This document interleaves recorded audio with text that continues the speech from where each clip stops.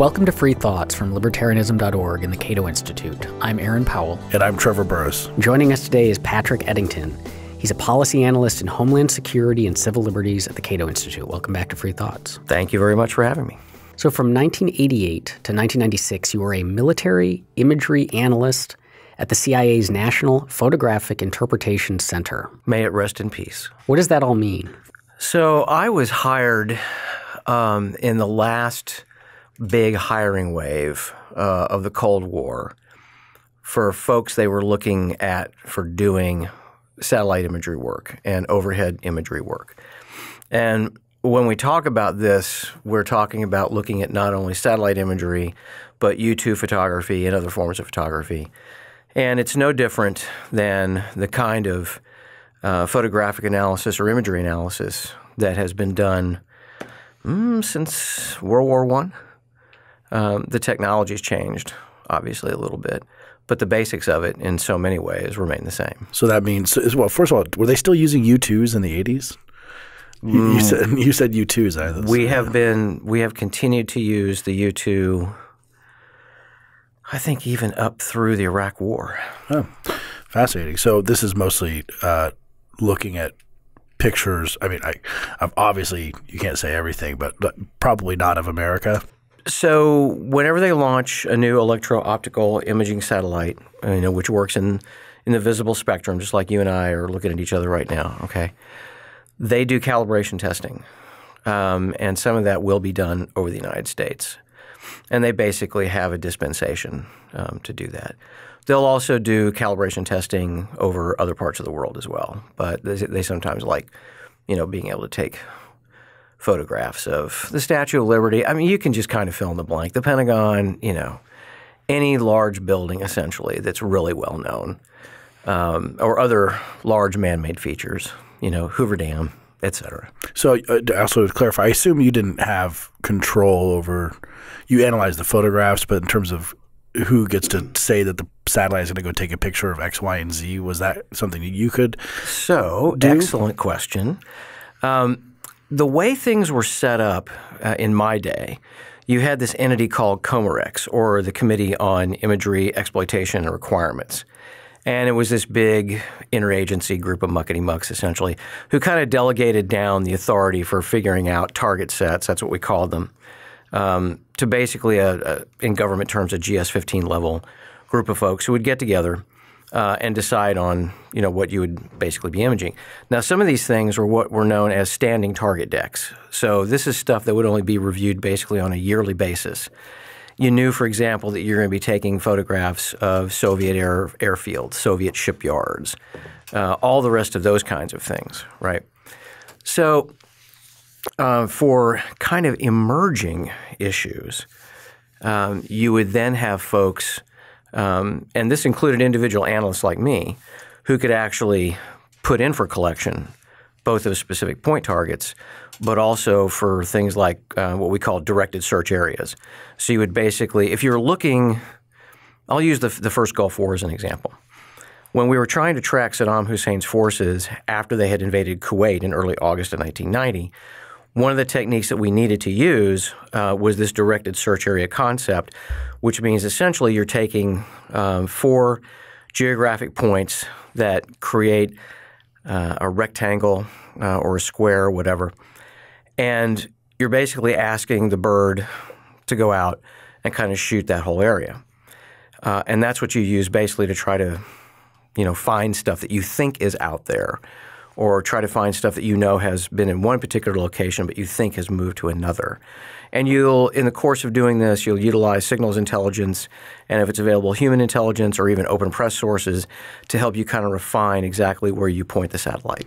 This sounds like it actually has interesting ramifications. The question of who gets to uh, direct the resources of the CIA has interesting ramifications for security now, particularly in terms yeah. of whose hard drive you're going to search or whose calls you're going to tap or whatever, yeah. uh, and, and, whether or not you're just going to go look at your ex-wife and what she's doing and who's yeah. staying at her house and things like that. Yeah, no, I mean the the way that I mean COMIREX um, and even individual analysts only had the authority to task foreign targets.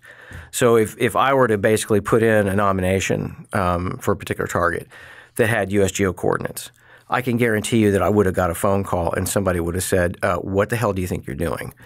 Um, so in that respect, um, kind of the standing controls there, uh, I think generally worked pretty well. But that's using a satellite, though. I mean, that's a big resource. It, it's it it, it is, um, and that was kind of the fun thing about it, quite frankly, is because here I was, 25 years old, and they were basically giving me the ability to go in uh, and do this kind of stuff, and it was it was remarkable. You know, I mean, to have that kind of authority. Um, to be able to point a multi-hundred million dollar satellite at a, at a point on the Earth and tell it to take a picture of it, that's kind of cool. So, how did you then, as a 25 year old, end up doing this? What was your path into the CIA? Yeah, no, it was really very interesting. Um, I had always wanted to get into military intelligence. And when I went through my ROTC course at Southwest, what was then Southwest Missouri State University, now Missouri State University, um, you know, when you go through that process, they basically tell you, okay, list your top three, meaning um, the top three different branches within the Army that you want to go to. So I listed military intelligence first. I think I listed air defense artillery second, and then armor third. Of course, the Army in its infinite wisdom, you know, it puts me uh, uh, in armor. Uh, and what was really hysterical about that is they put me through the very last course uh, at Fort Knox that was teaching uh, guys how to operate the M60A3 main battle tank, which was being replaced that very year by the new M1 Abrams.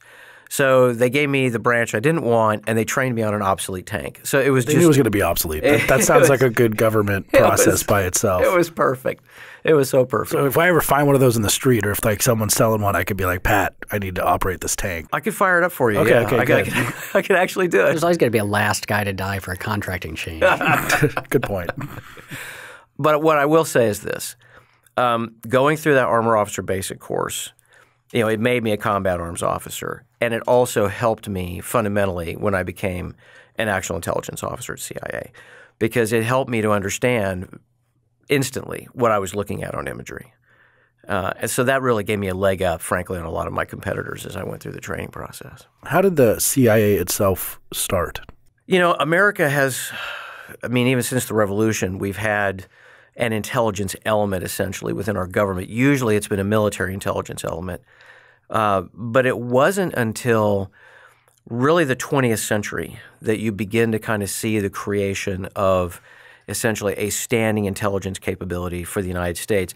And that tended to be kind of siloed to begin with, right? So you had a, a nascent Army intelligence capability, a nascent uh, naval intelligence capability, which really matured a lot during the First World War and in the interwar period.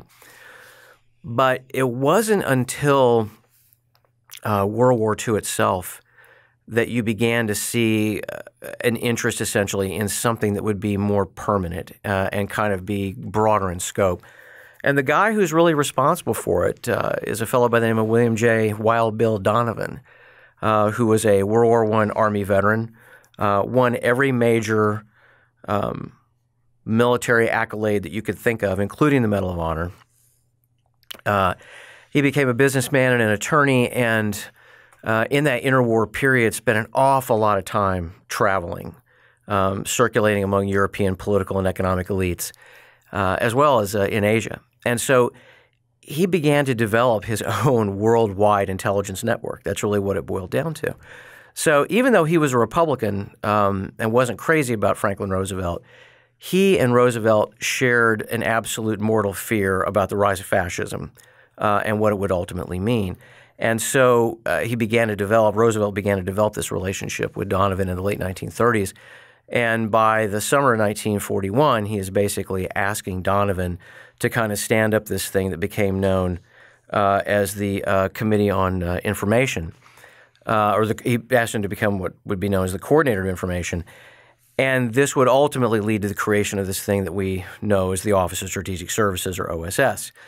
And in modern military parlance, the OSS would really be more like the, the current United States Operation, uh, Special Operations Command or the Joint Special Operations Command. A lot of what the OSS did during World War II uh, wasn't just simply trying to collect information on the Germans and the Japanese and, and the uh, Italians.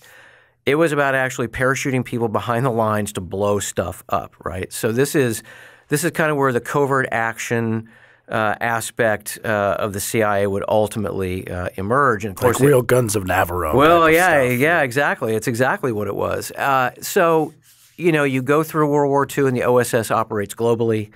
Uh, it's probably more successful in the Balkans and in France and other places like that, but they develop a reputation. Uh, for some folks, it's a mixed reputation. but then Supreme Commander uh, in Chief Dwight Eisenhower thought highly of it. General Patton thought highly of it. So Donovan was able to develop a constituency essentially for this concept. And even after uh, Roosevelt's death uh, and his kind of loss of influence, because he was definitely not on the same page uh, with Truman about a lot of this stuff, Donovan essentially kept up this lobbying campaign to create this kind of capability. And you know, Truman's original concept for what we call the CIA today was essentially a think tank in a lot of respects. Uh, he wanted an entity that would actually gobble up all the available information overt, uh, overtly and covertly, uh, and basically act as uh, an advisor to the president uh, in that in that respect. But with the rise of this very aggressive um, Soviet posture in the wake uh, of World War II uh, and all these uh, de facto covert actions that the Soviets themselves were working, by 1947, Truman had really kind of come around to Donovan's way of thinking. And so this is how you get finally in the National Security Act of 1947 the formal creation of the CIA.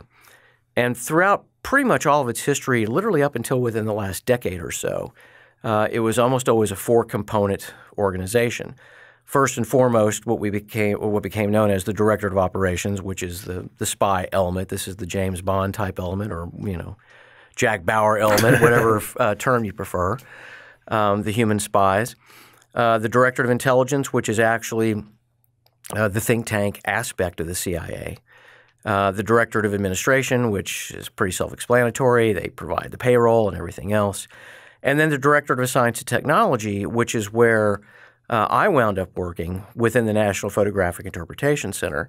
And that particular entity, NPIC as we called it, was really unique in, in so many ways. Um, most importantly, it was actually a joint organization. So while it was technically administratively controlled by the CIA, uh, it was a true joint entity in that we had Army, Navy, Air Force, uh, and Marine Corps personnel, uh, uh, intelligence analysts integrated into our operation as well as folks from the uh, Defense Intelligence Agency. And uh, this would become the organization that would give the CIA what I still think is its greatest accomplishment, uh, which is actually locating uh, the missiles in Cuba in 1962 and providing President Kennedy with the information he needed, essentially, in order to kind of navigate through that crisis. I've asked you this before, just personally, um, uh, but I think it, our listeners would enjoy the answer. What is the movie that best portrays, you think, the CIA and what it really does and is like? Yeah. Or, or book, I guess, but movie would probably be better. Yeah, I mean, it's funny because when The Hunt for Red October came out in 1990, um, a bunch of us from NPIC uh, went to the premiere um, here in DC, and we had this block of seats. And uh, since this movie is almost 30 years old, I'm going to assume this is not a spoiler for most people who are listening here. Uh, but there is a scene where Alec Baldwin's uh, character, Jack Ryan, the CIA analyst, uh, is basically going on about what he knows about Marko Ramius, the Soviet submarine commander and strategist, and so on and so forth. Um, and uh, the Army General President says, you know, how could you possibly know anything about this guy? You're just an analyst. And every one of us from NPIC just roared with laughter. And so you had this group of people in the theater who are just laughing uproariously, and everybody else around us is basically beginning to look at us like, who the hell are these people? What are they doing? So we literally outed ourselves.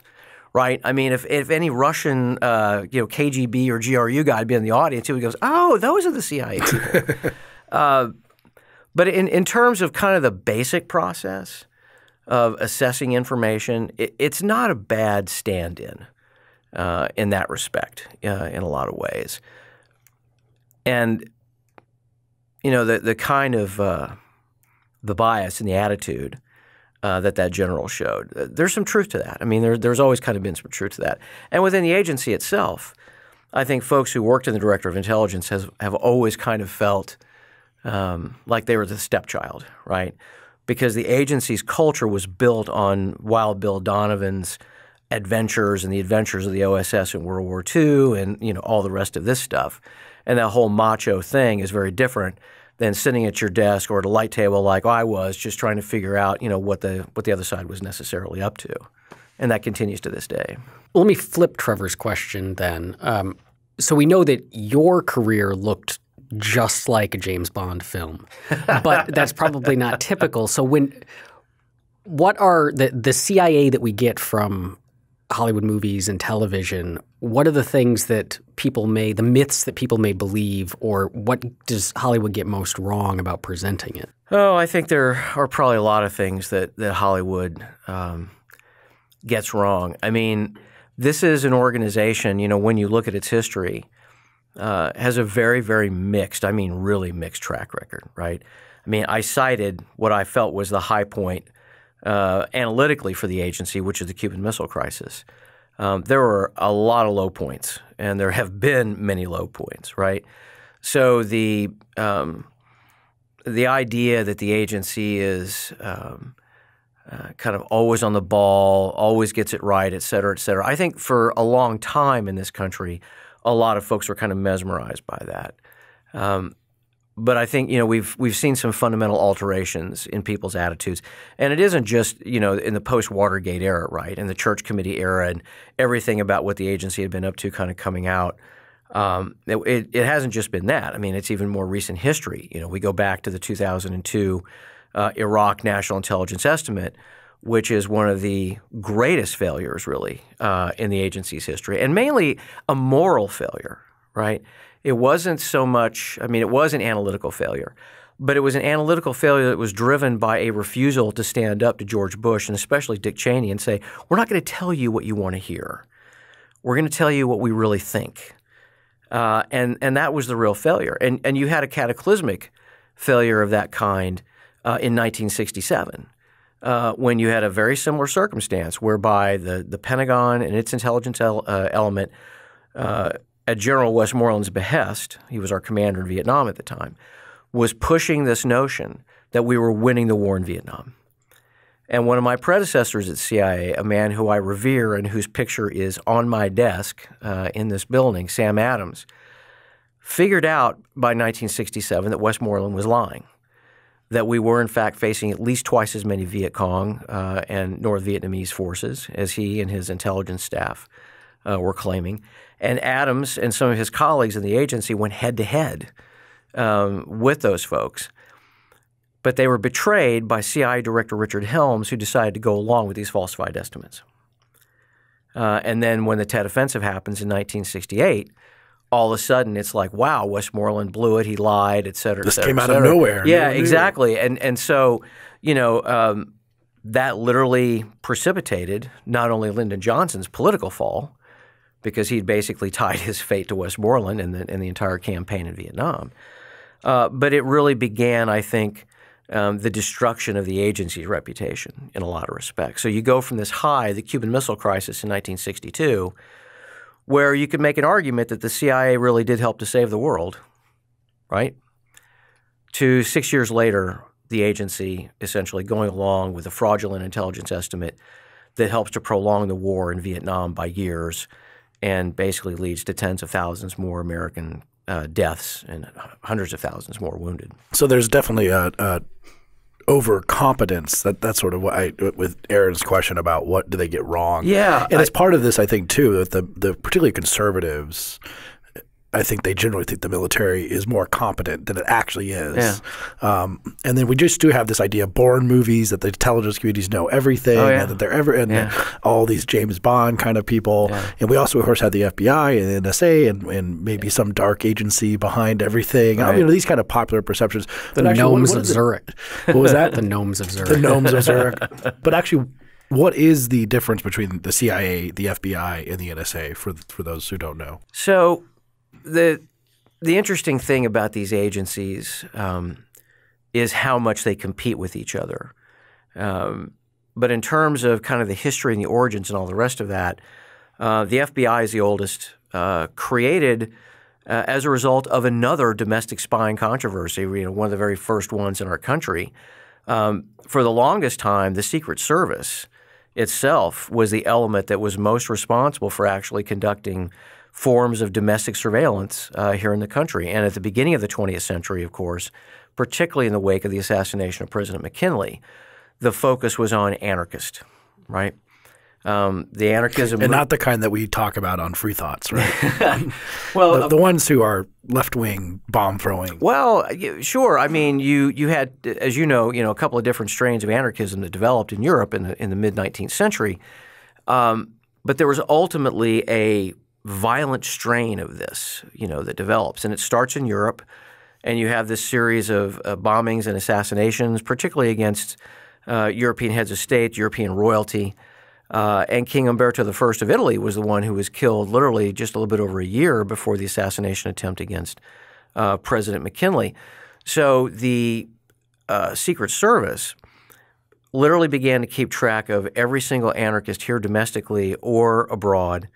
Um, and they actually kept their names and where they could get them, their addresses, in these written ledger books um, at, uh, at Secret Service headquarters in the Department of Treasury. And it, it's really interesting because – uh, in, in researching all of this, I discovered that I was probably the first researcher in the United States to actually look at those particular records uh, at the National Archives, and it was it was chilling to see other human beings' names essentially written down in these books and knowing precisely why they were doing it, and you didn't actually have to have committed an act uh, uh of violence, right, to get your name recorded here. You just had to be an alleged or actual anarchist, a professed anarchist, if you will. So um, when President Roosevelt, Theodore Roosevelt, takes over after the uh, assassination of McKinley, um, he begins to very aggressively use the Secret Service for a variety of things. Uh, a lot of different federal departments uh, begged essentially to have Secret Service agents to help them uh, expose crimes that were under the purview essentially these departments. So you get, you know, white slave traffic, if you will, the illegal importation of Chinese workers that gets investigated. Um, land fraud cases within the Department of Interior become a huge, huge area of business for the Secret Service. But then uh, some folks within the executive branch, you know, take it even further than that. Um, and in 1907, the Secretary of the Navy asked the Secret Service to basically spy on a midshipman who is believed to be having an affair uh, with the daughter of a very politically connected couple um, here in Washington. And this leaks. This gets out. And this is what gets into the press. And this is what then begins to motivate Congress to actually try to do something to rein this in. And so they passed legislation in 1908 that restricts the Secret Service to just protecting the president and to just going after counterfeiters. Roosevelt's response through his Attorney General, Charles Bonaparte, who was in fact a relative of Napoleon, um, is to create what became known as the Bureau of Investigation. So they created the, the what would become known as the FBI in 1935. They created this out of whole cloth using generally appropriated funds with absolutely no congressional authorization. So they get this thing off the ground, and Roosevelt's last year in office is just super contentious with Congress over this issue, especially. Once he's gone and Taft takes over, you suddenly see Congress lose interest in really what the Bureau is up to and all the rest of that. And so it's in this period of the Taft and Wilson administrations that you see kind of an exponential growth in the Bureau. Uh, and it's beginning to kind of get into some of these other domestic surveillance activities that would then give us the the J. Edgar Hoovers and everything else that would kind of follow after that. So that's kind of the FBI's origin, um, and then of course the National Security Agency is an outgrowth of these different Army and Navy intelligence programs that that began in basically in the pre World War One era, uh, and then became very large organizations during World War II itself. And the Pearl Harbor Committee, one of the recommendations that they made uh, was that these cryptographic efforts, these code breaking efforts by the Army and Navy be combined into a single entity. And so this is how we get the National Security Agency. Uh, and then, of course, you know, the, my former employer uh, is also essentially kind of stood up uh, in, in the same time period as we discussed earlier. As far as their reach, are there differences? So we the surveillance, mass surveillance is the big thing mm-hmm. right now. Are there differences between the three agencies? Because all three of them come up in the context of surveillance of who they surveil and how they go about it? The FBI and NSA probably um, are the two that have the greatest overlap in many respects at this point. Um, and part of this goes back to uh, the change in Rule 41 uh, that went into effect last year that now basically gives the Bureau the ability to go to any magistrate judge, pretty much anywhere in this country, and say, we want to get into these computers that are located in X, Y, and Z place that don't even have to be in the same jurisdiction as this judge is now. Uh, and they can go up and they can get this data. So the FBI, in its own way, is kind of getting into the mass surveillance business and has been in the mass surveillance business. But NSA's reach is global. Uh, and because of the partnerships that they have with the major telecommunications organizations uh, that we know so much more about now, thanks to the heroism of Edward Snowden, um, it it dwarfs what the FBI you know can kind of do uh, on a day to day basis. There's an awful lot of coordination, and this is something else that the WikiLeaks um, uh, dumps on this so-called Vault Seven uh, and the CIA and its hacking tools kind of helped us to understand in even more depth. A lot of these hacking tools that have been discussed are actually shared not just amongst FBI, CIA, and NSA, but also with our British cousins uh, at the General Code uh, and Cipher School and Headquarters, or GCHQ as it's known. So when we kind of look at the scope of it, NSA very heavily focused on foreign intelligence, um, mass collection of data there. CIA also um, focused heavily on the collection of foreign intelligence, but usually in a much more targeted fashion. And if you kind of look at these so-called Vault 7 leaks, uh, that's what you see. Most of the exploits that we're talking about here tend to be designed to go against individual machines, whereas NSA seeks to actually get to the backbone and does get to the backbone of the internet, which gives them the ability to just you know sweep up literally hundreds of millions of communications almost on a daily basis. Does the uh, NSA, I assume, I think that the CIA is the one that actually has spies, like human assets, or does the NSA use human, like spies in so, some ways? So you have um, a little bit of a division here. On the one hand, you have CIA, which runs essentially this agent network on a global basis. Um, the agency. Would you say that they're in every country in America or in the in the world? Uh, probably. They are in every country that is ultimately of concern to the United States, right? Um, you're going to put more case officers and more assets uh, against you know the, the targets that really matter to you. But there are also some targets that are extremely difficult to operate against, and I would put North Korea and Iran at the top of those lists, especially North Korea. Um, the ability to actually physically get people in there the ability to actually recruit people, I think, is a uh, a very daunting prospect. Um, which is why I think a lot of people at CIA are probably extremely pro Iran nuclear agreement. They would like to see a lot more of these kinds of things. They would like to see American businesses be able to get in there because it would give them more pathways to actually gather intelligence.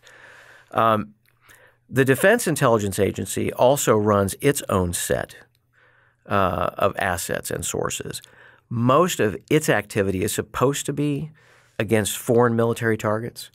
You have what are known as the defense attaches, who are, of course, assigned to every embassy uh, that we have around the world. But DHS or the the Defense Human Service um, operates its own assets as well, and so you get into these issues oftentimes where um, maybe the agency is trying to run an operation against somebody and DIA is trying to run an operation against somebody, and if the coordination is not there, some very very bad things can happen. So just to they're both spies and they're both running operations against each other and they're not talking to each other. Yeah. That sounds like either a tragic comedy or a hilarious, uh, you know, Pinkerton detectives kind of story. Spy versus spy. Spy versus spy. Um, so let's talk about those WikiLeaks. Uh, the what what generally happened and I guess will happen. They're not all out yet. And what did you did you learn anything? What have we learned? And did you learn anything that shocked you? I wouldn't say that I learned anything that necessarily shocked me. Um, I think it was more a question of having a lot of existing suspicions confirmed, more than anything else. Um, at the beginning of March of 2017, uh, we had this initial dump of uh, not quite 9,000 documents uh, by WikiLeaks probably as a result of a disgruntled uh, CIA contractor or ex CIA contractor uh, providing essentially information on these tools and in some case actual source code uh, for some of these tools uh, to WikiLeaks. What we did learn that I thought was significant is that whereas the agency for most of its existence had these four directorates that I mentioned earlier, you now have a fifth, this um, uh, Directorate of Digital Innovation, uh, or DDI as it's known. And it's underneath this fifth directorate where all of this uh, clandestine hacking activity uh, basically takes place. The fact that the agency has established an entire directorate dedicated to just this, for me, is the big news. Um, that that means that they had to get approval from Congress to do that. They also obviously had to get a lot of money and additional resources from Congress. And as I've noted in some of the stuff that I've published on this, the the silence from Congress on this, in terms of the implications of it, has been kind of deafening. Everything that's been revealed so far is about CIA hacking efforts against commercially available software, firmware, and hardware. In other words, the stuff that you and I and everybody else uses in their homes and in their businesses. And that to me is like the real problem. And I, have used this analogy before. I look at this kind of malware. I look at these kinds of tools basically as like the one ring from the Lord of the Rings, right? I mean, you think that you know what? It's like a super weapon essentially, and we know it's evil and we know it can do a lot of damage, and we're really, really not going to use it unless it's like the most extreme circumstance and we don't have a choice, and then we'll employ it. The and then once you do have it, you're like, ah, I might put it on my. That's exactly it, right? And so the other part of it is everybody else wants this too. So when you turn around, you create these tools, and then you apparently put them on a single server or a single um, local area network, as the agency apparently did. It's an invitation to hackers. You know, it's like come and get it, right? To hack the CIA. Well, exactly, and and you know, a lot of folks uh, in the privacy and civil liberties and technology community have been warning for years about this very kind of scenario, and now it's come to pass. So the the exploits that came out in the first batch, and then was it yesterday that there was a second yes. batch? And the second yes. batch seemed to be a lot about Apple products. Um, but Apple announced today or yesterday that these were all old exploits that had been patched long ago. Should we take that as this was dangerous stuff and they may have done things with it, but we don't have to worry? Or is it likely that they have found even more exploits on top of the ones that we've seen the old versions of. So we should bear in mind that whatever this individual or individuals gave to WikiLeaks is simply what the individuals chose to give to WikiLeaks. It does not necessarily, contrary to Julian Assange's propaganda, it does not necessarily represent everything that the CIA has. We also know that um, the material that's that's been contained in these two dumps so far covers essentially the period from 2013 to roughly 2016. But I don't think it's necessarily inclusive, and I, I think it would be a mistake to necessarily assume that it's all inclusive. You know, I'm an Apple product user. I have been since 2007. My entire household is nothing but Apple stuff. Um, but if Apple has a weakness, it is the fact that they do not release their source code for public audit right? And so, you know, kind of within the cryptography community, that's the gold standard. Um, open source stuff is the gold standard because it means that you have to subject your stuff to peer review from other cryptographers, which is how you really get a chance to test whether or not this stuff, you know, is worth anything. That's why Open Whisper Systems uh, Signal messaging app is considered uh, still to this day the gold standard uh, for that kind of activity because there is no evidence thus far that anybody has been able to crack it, including the National Security Agency. You can't necessarily say that about Apple um, because you know their source code is proprietary. You know they don't they don't put it out there. That's not to say that as a general rule uh, they're not doing. I think what most people would would characterize as a pretty damn good job. You know trying to do this, but as our friend Orin Kerr at, at George Washington uh, University Law School has observed, um, we don't know how to write perfect software, right? So even the best efforts of folks, whether they're working with proprietary stuff like Apple or whether they're doing it with open source stuff, uh, just you're going to find gaps, and that's why it's an arms race. That's why you always have to kind of keep up with it, and uh, that's exactly how the intelligence community looks at it. We've had very strong commercial encryption, commercially available and open source and free encryption for quite a while. I mean, I generated PGP keys back when I was in middle school and high school. Um, so why given that and given that these there's ones out there that to our knowledge have not been cracked yet and are fairly easy to use why is this a problem like why do they have access to so much stuff still if we can encrypt it powerfully and easily so in, in the case of some of these exploits having to do with ios apple's mobile operating system um, the agency apparently at least had one that gave them the ability to get right at the base operating system itself. So when you're able to do that, you can install software that allows you to log every keystroke. And if you can do that, the game is over because then you get every password.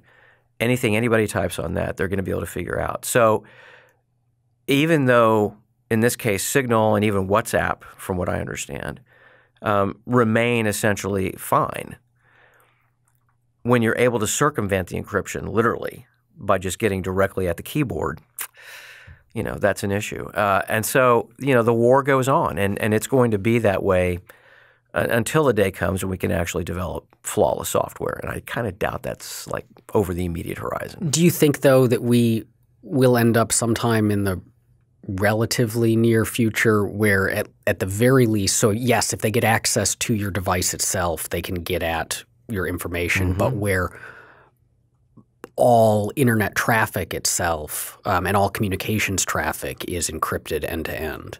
So there are lots of different places along the way um, that it can be intercepted, right? So if you're able to get on the internet backbone, for example, um, if you're able to get into other places before the actual encryption take, takes place, then you're able to defeat it and and because there are so many parts to the system of, of communications, digital communications, it means that there are potentially a number of different attack vectors, right? A number a number of different weak points. Um, one of my favorite things about Glenn Greenwald's book, No Place to Hide, which is about the whole Snowden episode, is the photograph that he put in there of folks from NSA's Tailored Access Operations or TAO office breaking open uh, Cisco router boxes in order to actually put implants in them, right? So when you have the ability to potentially get into a supply chain uh, and and put implants like that in, it just gets back to this whole issue, the larger issue of reining in the intelligence community and federal law enforcement in terms of what they're engaged in because they're they're treating the entire internet and the entire global telecommunications infrastructure as an absolutely no holds barred target. Whereas in the pre internet age, all of this intelligence collection activity was going against other countries' ciphers and codes because they were passing over dedicated communication circuits, dedicated communications cables.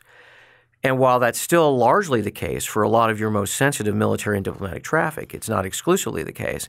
And when we talk about the terrorism threat, which is really where a lot of this collection is justified. Or they, they let me rephrase that. It's how they justify the collection against the internet and, and the digital infrastructure of the, of the globe. They're really attacking all of us at the end of the day. And that's what makes it, you know, so incredibly disturbing. It's just this mentality of my highest duty, and if you listen carefully, it doesn't matter whether it's a president or an attorney general or a DNI, it's always some formulation of my highest duty is to protect the American people, which is, as libertarians, as we know, is a lie. Their highest duty is to protect the Bill of Rights and to uphold our rights and to uphold the Constitution. But that's part of the problem that we have today. It's the age that we're living in where everyone, and especially folks in government and a lot of our friends in the media, have gotten into this habit of repeating this nonsense that you can have a completely safe and secure world and, and still be free. The founders understood that the only way that you can be safe and secure is if you have liberty.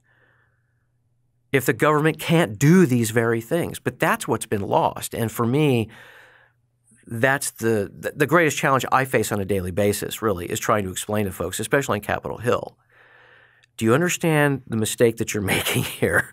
You know, by buying into this this uh, government argument, and that's really what they're doing. Okay, but so government, you know, one of its key roles, the reason that you know, if we take our a social contract, you know, we're getting out of the state of nature. The the reason we institute it in the first place is to protect us. Um, otherwise, we wouldn't have set it up.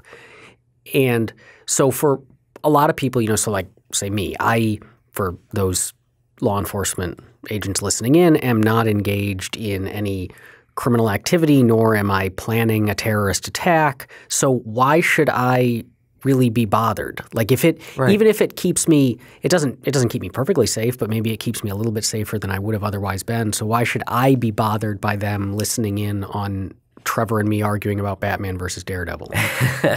Daredevil, by the way. So the, the, the fundamental problem is essentially the, the, the precept that they operate under, which is this idea that they need to collect it all, to use a, a Keith Alexander phrase, a former Or, NSA or director. Pokemon phrase, I guess that would be too. Yes, yes. Um, and if you're collecting everything, it means you don't actually know who the hell it is that you're really supposed to be going after, right? I mean, if we go back to the entire precept of the Fourth Amendment, it's about individualized, particularized suspicion based on a probable cause standard. In other words, you're supposed to be going after individual human beings. And, and that's what we have here. We have a small group of, of human beings out there. I'm thinking specifically Salafist terrorist organizations um, who represent a certain level of threat, right? But in comparison to other threats, they kind of shrink to insignificance. So, for example, if you look at the number of, of people that are actually killed in terrorist incidents in this country on a yearly basis, I'm talking post 9 11 now, which is definitely a one off event that was caused by incompetence among FBI, CIA, and NSA, not actually sharing the information they already had. In a post 9 11 environment, in a year in and year out basis, you're much more likely to be shot and killed by a cop in this country, you know, than you are a terrorist. So to me, sure, having government is designed to do certain limited things. But when when folks in government begin to view each and every one of us as a potential suspect first and citizen second, which is exactly how our system works right now, that's exactly how you get these abuses, and it's also why they actually don't get the bad guys. I wanted to clarify something you brought up. If uh, our listeners are not familiar with this, the the Cisco routers, because you mentioned it briefly, um, that uh, uh, one of it was in Snowden's leaks, correct? That that they for routers being shipped to the retail market in Europe, the U.S. government intercepted the boxes, opened them up, and placed, and so it had physical access to the routers and placed something in them so they could constantly. So they undermined the company Cisco. They undermined, uh, I mean, and so it shows that even if you lock down the information streams, that you're just doing an old fashioned. I think you call it a black bag, is what you call it. Yes, a black bag job is what we call Just, to those. just go and and you know put something on their smart television so they can use it because I think one of the one of the leaks was about that your smart TV might be watching you, but I think they had needed physical access to They the did. smart TV to get that. But then they, did. just say, "Hey, you know, we're here to do a building inspection," um, right? I'm with Uh, Comcast. I'm I with understand your problem. Exactly. or if they, they know that you live in an area, you intercept shipments to that area. So you don't even need. and that they will do that if they're if they're blocked from one area. Don't you know? Don't think. Well, I guess we can't get to that. They Yeah. will. They will absolutely go Well- go to the, the you know nitty gritty level to try Absolutely. and access. I, I mean, look, under the Patriot Act, right?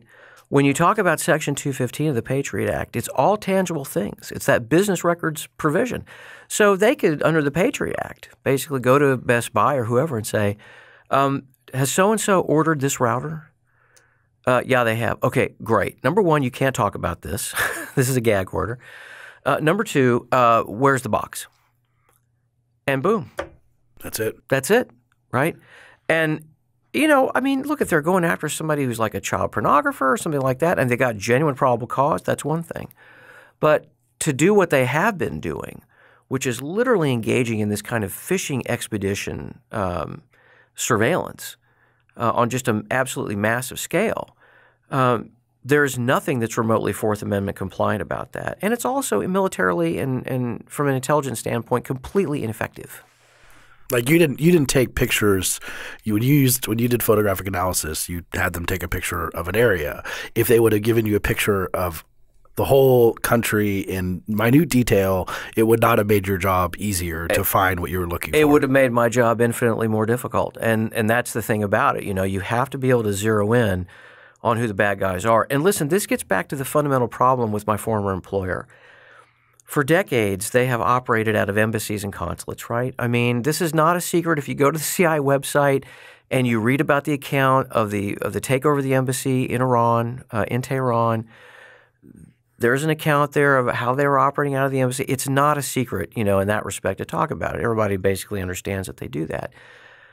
That's the drawback, right? I mean, if you're not able to essentially recruit enough folks in a given society and have them essentially be uh, what are known as NOCs, you know, non-official cover type agents, um, and have them be assets.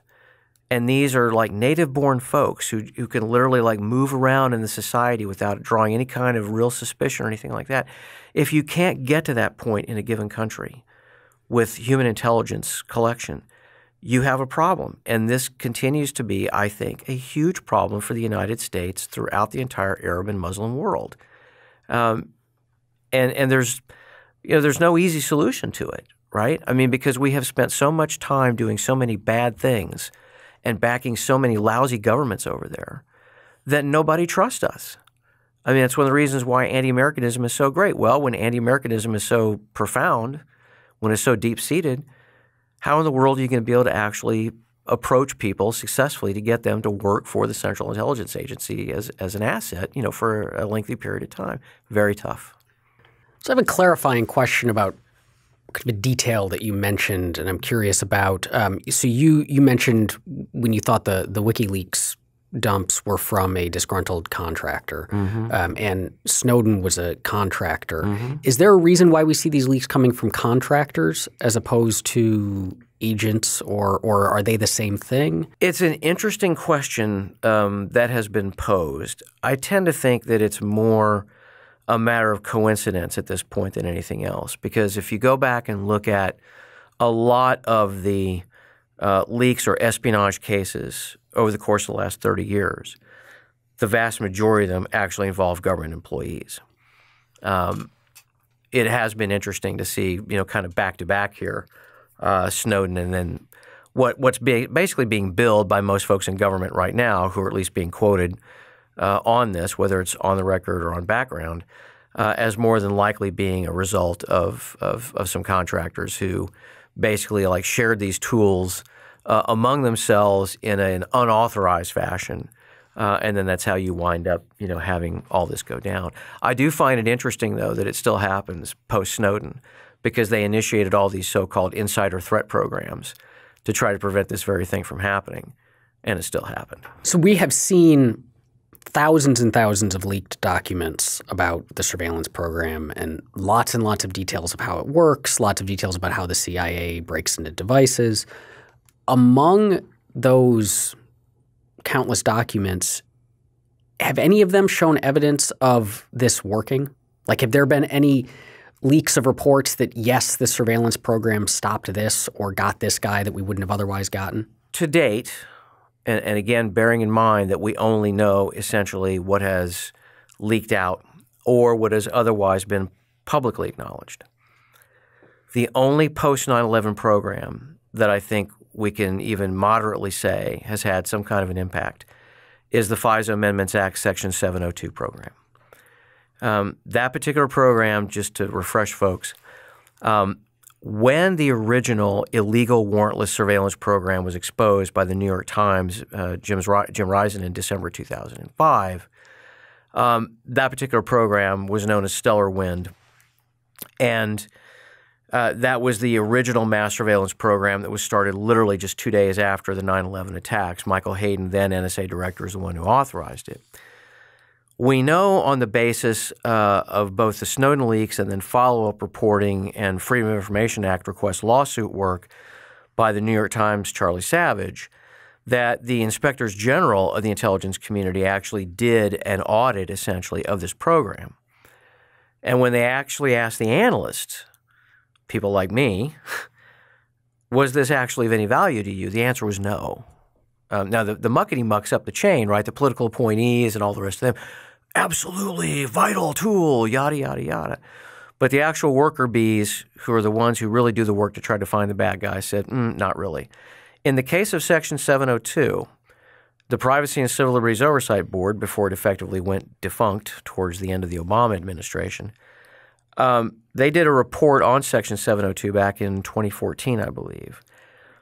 And they actually said that there was pretty credible evidence that this program had, in fact, been responsible for helping identify previously unknown terrorist networks, et cetera, et cetera. Now, none of the rest of us have actually seen the evidence, but that was a bipartisan panel, um, three Republicans, two Democrats, and they were pretty much unanimous, you know, in their assessment of it.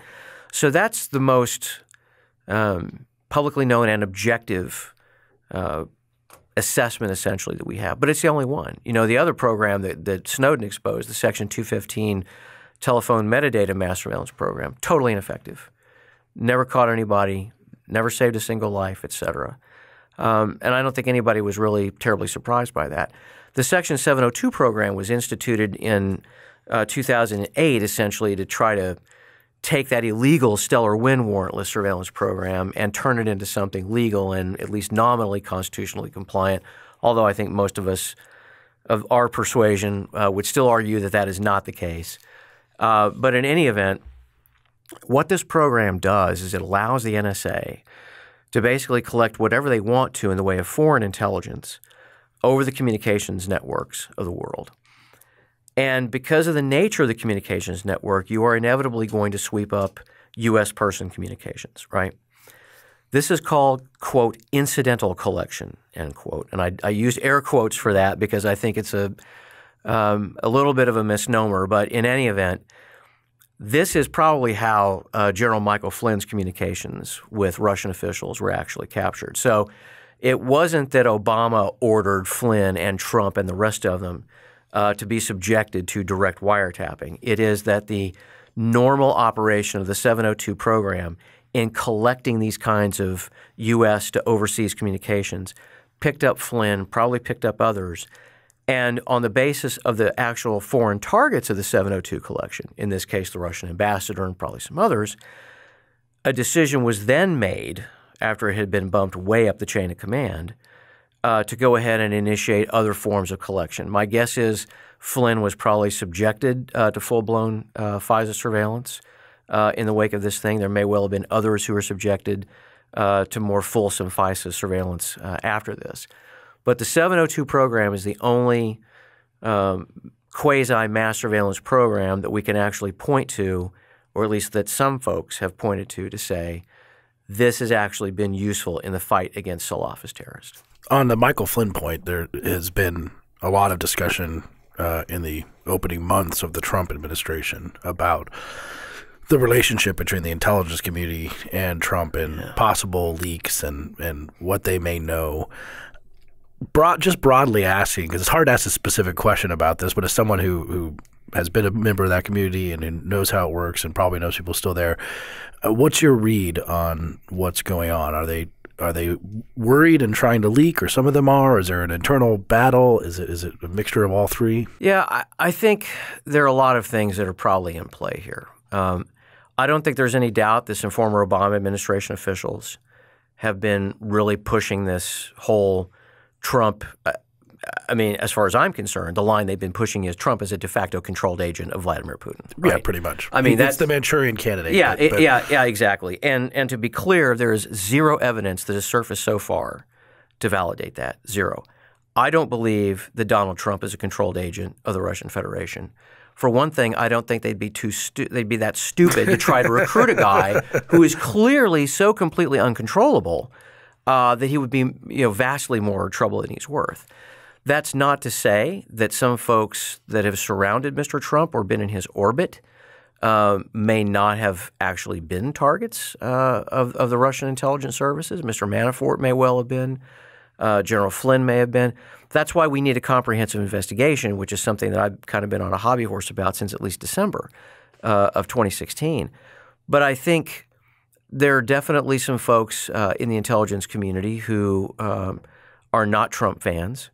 Um, and, and, that's easy to see why. I mean, you know, he's he's denigrated their product. Uh, on the other hand, you know, when he said, you know, these are the same people that blew it with Iraq, that was a factually accurate statement. And and the the the point that I've made to people is, look, if folks in the intelligence community can't take some honest criticism that's based on fact, then they have no chance of protecting us from the likes of Al Qaeda or ISIS or anybody else. Um, if you're going to get into this business, uh, you need to have a relatively thick skin, and you need to understand that the political uh, headwinds are going to surround you all the time. You just have to learn to adjust to that, and you have to, if you're going to be a really good intelligence officer, you have to be willing to say no. You have to be willing, to, in fact, you have to be willing to walk away from your career if necessary in order to maintain your integrity. And the, the problem we've had over and over again in the course of the last several decades is folks have not been willing to walk away, right? They've been willing to go along to get along. Um, so we'll we'll see how this whole thing plays out. It's obviously gotten much more political in the last few days with the all the back and forth between Mr. Nunes and Mr. Schiff and, and some of Mr. Nunes's very questionable actions. But uh, how uh, paranoid are you, and how paranoid should we be?